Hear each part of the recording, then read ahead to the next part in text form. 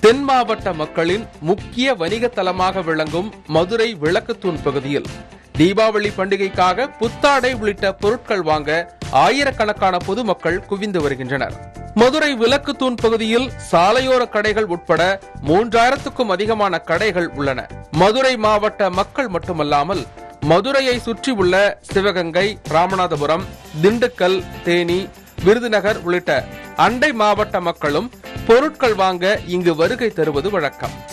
நிறைய கலெக்ஷன்ஸ் இருக்கும். இந்த மாதிரிலாம் நிறைய நிறைய கடை போடுவாங்க. நிறைய ஷாப்ஸ் இருக்கும். நிறைய கலெக்ஷன்ஸ் இருக்கும். அப்படி பார்க்குறப்போ நிறைய வெரைட்டிஸ் இருக்கும்.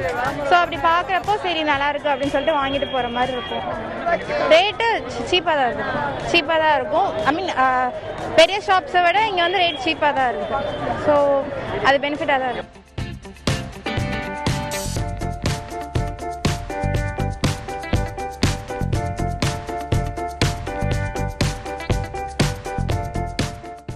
என்ன காரணம்? ரேட்டு கம்மியாக இருக்குது துணி நல்லா இருக்குது ஆஹ் நம்ம த நம்ம குவாலிட்டிக்கு கரெக்டாக இருக்குது பர்ச்சேஸுக்கு கரெக்டாக இருக்குது அதான் ரீசன் வேற ஒன்றும் இல்லை.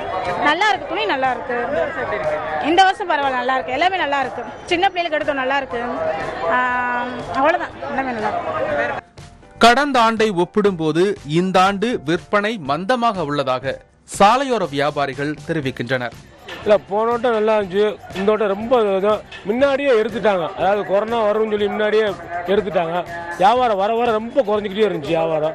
என்னன்னு தெரியல வந்து இப்போ மழை வர நம்ம போட்டு இதாகுது. வட்டி வயசு வாங்கியிருக்கோம் பணத்தை போட்டு. இன்னும் வியாபாரம் ரொம்ப மோசம். மக்கள் ரொம்ப கம்மியாக வந்துக்கிட்டு இருக்காங்க. கொரோனா பொது முடக்கத்தால் பாதிக்கப்பட்ட வர்த்தகம்.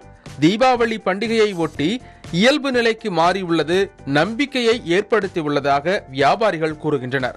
வியாபாரம் வந்து தீபாவளி வியாபாரம் ரொம்ப சிறப்பாக இருக்கும். எதுலையுமே வந்து மதுரை வந்து எப்பயுமே தோற்றது கிடையாது.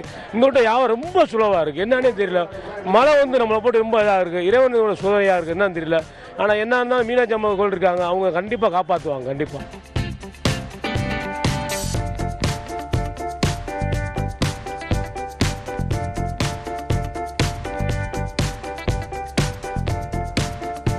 புதியுகம் செய்திகளுக்காக செய்தியாளர் குழு.